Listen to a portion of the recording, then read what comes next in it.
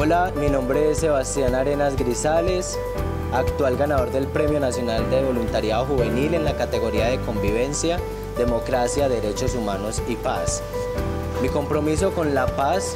es construir acciones y estrategias orientadas al respeto integral del ser humano, que este país se construya desde el respeto a la diferencia y entendamos que somos un país multicultural y plural, que donde el ser humano prime primero, que los derechos humanos se cumplan y se protejan. Allá va dirigido mi compromiso con la paz, también desde el hogar, desde las familias y desde las instituciones educativas,